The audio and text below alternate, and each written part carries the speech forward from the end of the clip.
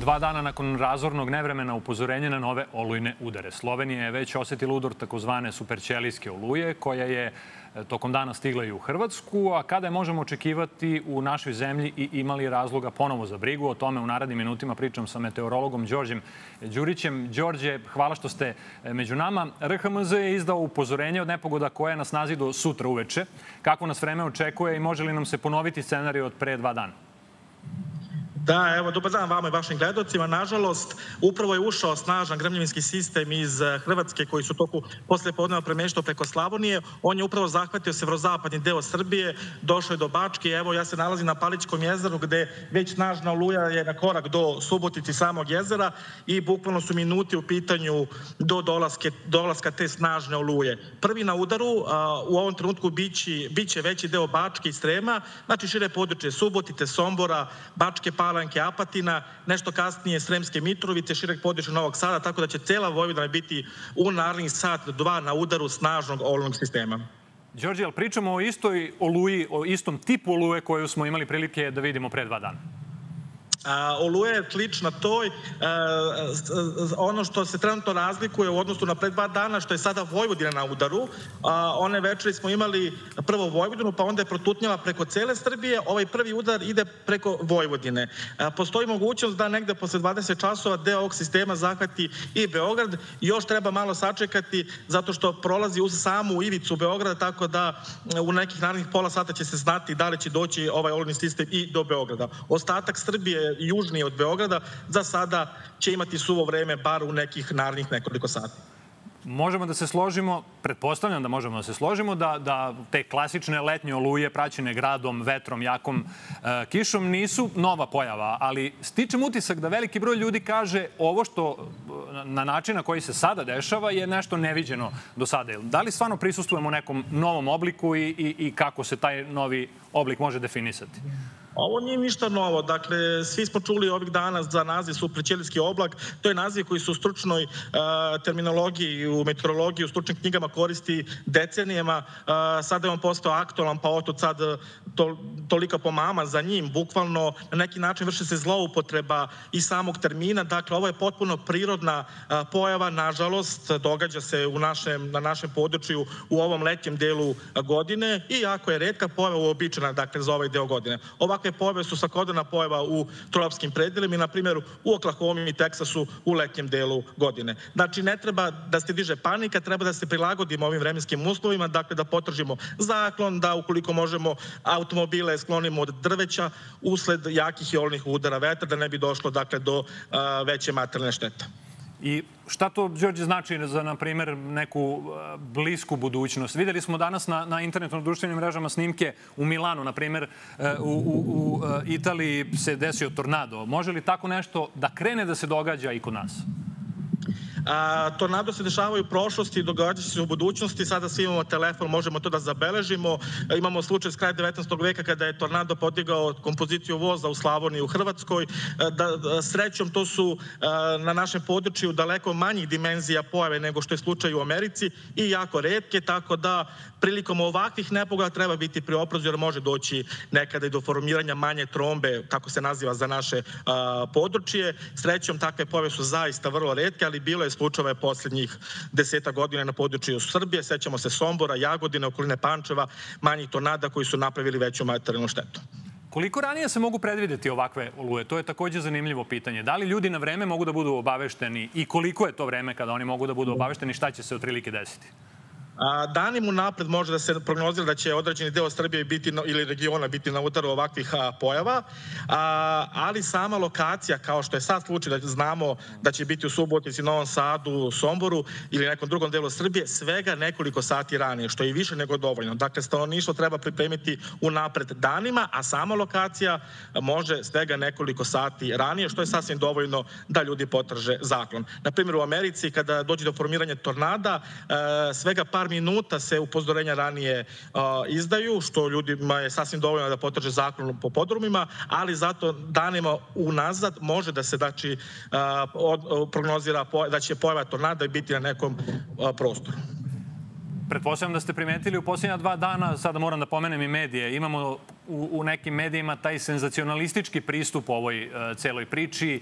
Superćelijska oluja pravi haos, pakao na zemlji uh, i tako dalje. Kako napraviti dakle, da, da ljudi opet budu oprezni, dakle da imamo uh, svesnost uh, i ozbiljnost da. jedne situacije, a da se opet distanciramo od takvih naslova koji, pretpostavljam, ne prijaju nikome i mogu da izazovu da. čoveku bespotrebnu paniku. Da, takvi naslovi nisu potrebni, stvaraju veću paniku ovaj, i to je na neki način zloupotreba ove divne struke. Meteorologija divna nauka, jako teška, znači to je ogroman proces prognoziranja, ogromni matematički modeli, procesori, dakle, i, i zaista ne treba na taj način zloupotrebljavati kroz takav vid naslova. Upozorenja su jako bitna jer današnje upozorenje, na primjer, na tropske uragane, ciklone sačuvaju, mogu da sačuvaju e, stotine hiljade života. Imamo slučaj iz 1970. godine kada je ciklon bez upozorenja udario, tropski ciklon udario obalu Bangladeša gde je nastradalo više stotina hiljada ljudi. Trećom danas se takve pojave danima una, uh, mogu prognozirati ranije i da uh, takva upozorenja sačuvaju stotine hiljade života. Đorđe, neću više ovaj vremena da vam oduzimam i boga mi prilično grmi i seva. I za vas evo još jedno pitanje. Šta nas čeka do kraja leta? Do kada ćemo da se bavimo ovakvim temom? Da, pa evo, nažalost, i sutra tokom dana može biti ovih nepogoda, ujutro kiše pljuskuju u severnim delovima Srbije, tokom dana više sunca, opet uveče Vojvodana može biti na udaru sistema pljuskova i grmljavina, nedelja donosi stabilizaciju vremena, početkom sledeće sedmice vrelo, temperature ponovo preko 35 lokalno do 40 i onda sredinom sledeće sedmice novi pad temperatura za desetak stepeni. Sam kraj jula i početak augusta doneće znatno ugodnije vreme u vidu prosječnih letnjih temperatura, a to su vrednosti oko 30 stepeni za naše područje pratimo situaciju. Đorđe, hvala puno na ovom da, uključenju. Ja kraj, evo da pokažem nebo. Ajde, ajde, naravno. Da, evo da. situacija kako je na Paliću. Neko bi rekao fotomontaža, ali nije. Da. Jasno. Hvala puno, Đorđe, i na ovom kadru i na ovom uključenju. Pratimo situaciju i sklonite se na neko bezbedno mesto. Molim vas. Hvala puno još jednom. A mi idemo dalje na našu sledeću priču. Dva meseca nakon poplava koje su pogodile Loznicu i kako je voda ušla u urgentni centar opšte bolnice i dalje se ne zna ko je kriv za štetu, ali i ko je neodgovorno postupio smestivši najskuplje aparate za diagnostiku u suteren. Ovih dana dobijena je i potvrda da se Lozničani godinama leče u neuslovnim prostorijama sanatorijom u Banji Koviljači, a nadležna inspekcija hitno je zatvorila čitav objekat. Za to vreme opozicioni političari traže odgovorne. Prvi na listi je direktor bolnice. Odeljenje produžene nege i lečenja u Banji Koviljači poznatije kao sanatorijum koje je radilo u okviru opšte bolnice Loznica od 19. jula je zatvoreno. Rešenjem Republičkog sanitarnog inspektora od 11.7.2023. godine naloženo je zatvaranje odeljenja za produženo lečenje, negu i ranu rehabilitaciju u Banji Koviljači, a po čijem sam dobijanju kao odgovorno lice ustanove odmah i postupio. Skoro 30 godina u objekat sanatorijuma se nije ulagalo. Pacijenti su bili u neuslovnim prostorijama. Sada je njih 20 prebačeno u Loznicu, a objekat se iseljava. Šta će sa njim u budućnosti biti, niko ne zna. Loznička opozicija zbog prethodnog nestručnog upravljanja opštom bolnicom tvrdi da su Lozničani sada uskraćeni za neophodnu lekarsku pomoć. Posle pet godina dolazi na naplatu sve ono što nije rađeno u vreme rukovodstva i prethodnog, a i naravno uh, gospodina Todorovića. Uh, mi smo pre nekoliko dana održali konferenciju za štampu na kojoj smo postavili pitanje njegove odgovornosti za poplavu koja je bila u, u bolnici u urgentnom centru gde je poplavljen skener od čega su najveću štetu pretepali pacijenti. Zato su Demokratska stranka i Stranka Slobode i Pravde pozvale direktora bolnice da da ostavku na tu funkciju. Pisanim putem direktor je za novu kratko rekao da nema komentar na to, ali da odgovorno stoji iza svog rada kao lekar i direktor. Otkad je Srpska napredna stranka preuzela vlast u ovoj državi kao da se izbrisao pojam objektivne odgovornosti. Evo već skoro dva meseca čekamo da neko preuzme odgovornost za ono što se desilo u urgentnom centru prilikom poplava u Loznici gde je pričinjena ogromna materijalna šteta. Opozicioni političari kažu da je niz pritužbi pacijenata na loše rukovodđenje ove najznačajnije zdravstvene ustanove u gradu. Lozničani se leče u Šabcu, u Valjevu, jer mi, zahvaljujući takvoj kadrovskoj politici, nemamo kardiologe, nemamo infektologe, nemamo ortopede koji dolaze iz Valjeva. Pazite, četiri godine ortopedi dolaze iz Valjeva u Lozničku bolnicu. Da li je moguće da grad od 70 nešto hiljada stanovnika, grad uh, koji uh, gradonačelnik kaže da je lider zapadne Srbije, ne može da, da, da pošalje lekare na specializaciju. Loznica nema angiosalu. Dakle, prilikom slučaja infarkta, srčanih smetnji, pacijenti se voze 80 km odavde, sanitetom, hitno u Valjevo, pa sad ko stigne, stigne. Tek im se tamo ukazuje prava pomoć. Đorđe Mijailović, Televizija Nova, Loznica.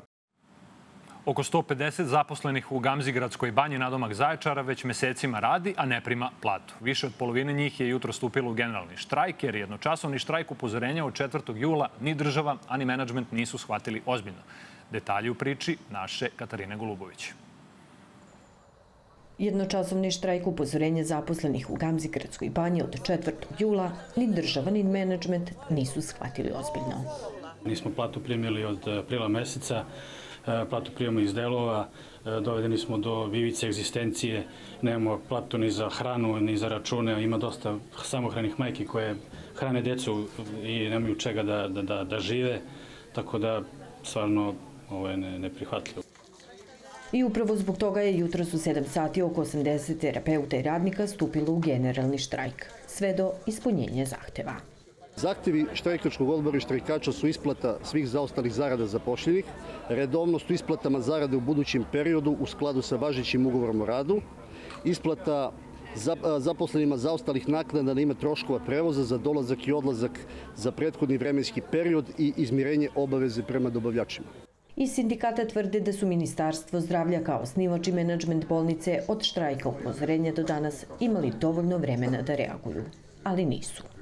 Od tad pa do danas e, prošlo je pa više od 20 dana. E, situacija je gora, e, blokada je porasla još više. Jednostavno od, od poneljka do petka nam se obećava da će da bude ovaj plata, da će da se reši. Ništa se nije rešilo. Zato se štrajk nastavlja i narednih dana uz minimalne ustupke prema pacijentima, koji za zaposlene imaju puno razumevanja. Ja podržavam ove ljude, pošto nisu primali platu četiri meseca. Ja bih volio da ovo stane društveno, da bude ovo po socijalno, da ja kao bednik dođem ovde, da se lečim 21 dan. Ako dođe neki privatnik i napravi neki spa centar ovde, šta će biti od nas? Osoblje je ljubazno, bez obzira što radi, recimo, bez, bez para. Što se radnika tiče, nemaju premca. A uslova? A uslovi ispod svakog niva. Podršku štrajkačima pruži i direktor, koji tvrdi da daje sve napore da specijalna bolnica izađe iz krize u koju je zapala tokom covid -a. Mi smo bili i COVID bolnica gde smo bili apsolutno bez jednog pacijenta sa istim brojem izvršioca. Osnivač Ministarstva zdravlja, kako nam je delatnost menjao, tako smo mi radili. Međutim, i u tom periodu već nastao problem, za razliku od svih drugih zdravstvenih ustanova, koje su budžetske ustanove, gde su i ugovoreni radnici, gde su sva sredstva namenski iz državnog budžeta pokrivena ishrane i plate, taj problem je bio prevaziđen lakše kod njih nego kod nas. Račun bolnice trenutno je blokiran zbog duga za struju i vodu od oko 30 miliona dinara. Dobavljačima se duguje duplo više novca, a radnicima za plate oko 40 miliona. Ukoliko Ministarstvo zdravlja kao osnivač banje na namenski račun uplati sumu od 112 miliona, radnici bi za koji dan mogli da prime zaostale zarade. Katarina Golubović, Televizija Nova. Nakon svetske premijere na jednom od najvećih evropskih filmskih festivala u Lokarnu početkom avgusta, novi film Dragana Bjelogrlića Čuvari formule, formule biće prikazani na 29. Sarajevo film festivalu. Istinita priča o akcidentu u Vinči 58. godine koja je rađena po bestselleru Gorana Milošinovića Slučaj Vinča. Pred festivalskom publikom u Sarajevu biće predstavljena 15. avgusta u okviru glavnog programa. Ova dva renomirana festivala samo su početak filmskog života čuvara formule uoči velike premijere u Beogradu, koja je planirana za novembar ove godine. A u ovoj nedelji od naše ekipe toliko. Vidimo se ponovo u ponedeljak od 18.30. Sledi dnevnik. Ostanite uz novu, čuvajte se oluje, a onda polako put vikenda. Prijatno veče i doviđenja.